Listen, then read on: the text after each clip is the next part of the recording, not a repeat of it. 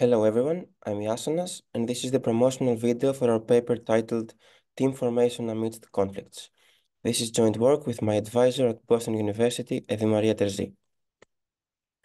We cooperated with BU Spark, an organization at BU, matching students to real-world projects.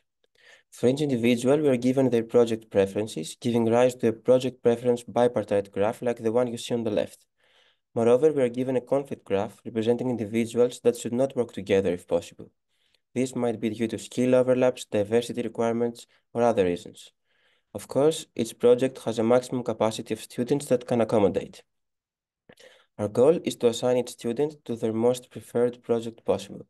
At the same time, we want to maximize the weight of conflict edges between teams, which is equivalent to minimizing the conflicts inside the teams.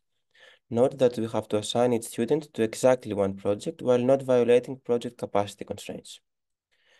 Interestingly, our problem is a combination of b-matching and max k-cut with cardinality constraints. We formulate our problem as an optimization problem and make use of dependent rounding schemes such as pipage rounding in order to design efficient approximation algorithms. Furthermore, we develop heuristics that work well in practice by exploiting common patterns in the input graphs.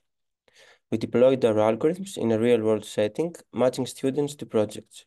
According to all metrics, our assignments were better than or equal to those made manually by human experts.